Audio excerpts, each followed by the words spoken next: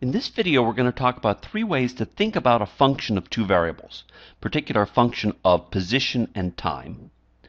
And that'll give us three different ways to think about partial differential equations and their solutions.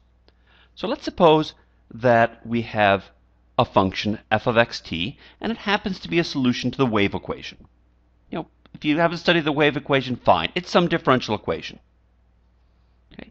Now, one picture is to think of f of xt as a number. You give me a value of x and t, and I'll tell you what number it is. Now, you vary x and you'll get different numbers. You vary t and you get different numbers. But you think of f of xt as a number. A number that varies with x and with t. And then the wave equation itself says, well, the left-hand side says how f changes when you vary the time, and the right-hand side tells you how f is changing as you vary your position. And the wave equation relates what happens when x changes to what happens when t changes. This is the most common way of thinking about partial differential equations.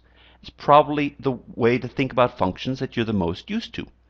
A function is just a number that depends on its inputs. But there's another way. Another way to think about f of xt is to think of it not as a number that depends on x and t, but to think of it as a function of x that evolves in time. So a picture of f of xt might look like this. We say, at time 0 we have this function, and at time 1 we have this function, and at time 2 we have this function. And so we think of f as being a, not a number, but a function, and it depends on time. So, in fact, if you say where does f live, well, it lives in a space of functions of x. So we usually use L2 of the interval. So f of x is a vec f is a vector in L2, and it evolves in time. And the right-hand side of the wave equation involves a second derivative with respect to x. That's just an operator on L2. So the wave equation is saying that the second derivative of our vector with respect to time is this operator acting on our vector. And we solve that by diagonalizing this operator. And that's what we're going to do, not in this video, but in a future video.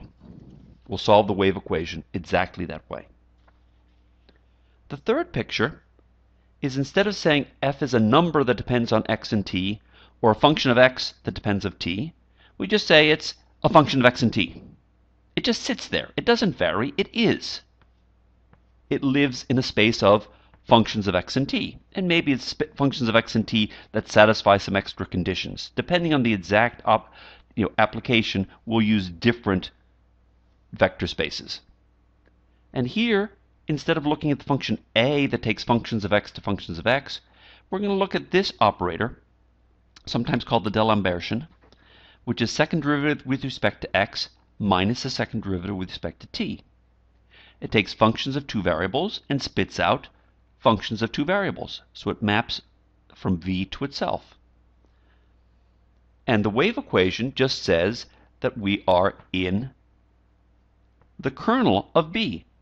A solution to the wave equation, that is a function whose second derivative with respect to time equals its second derivative with respect to x, it's another way of saying that b acting on that function is 0.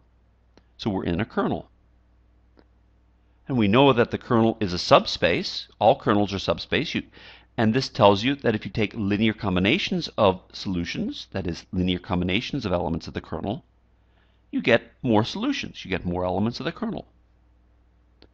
And this is called the superposition principle. You can take any two you can take any two uh, solutions to the wave equation and add them, and you get a new solution. You take a solution, you multiply it by 7, you get a new solution.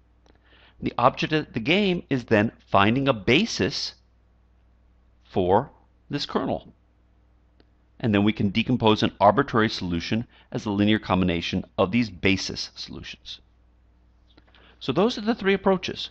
There's values to all three. There's insights to be gained from all three. You know, mathematically, of course, they're equivalent. You know, a number that depends on x and t is a function of x and t. And you, if you hold t fixed, then it's a function of x. So the three pictures are equivalent, but sometimes one of them gives a different insight than another one. And we're going to milk all three pictures in the coming weeks.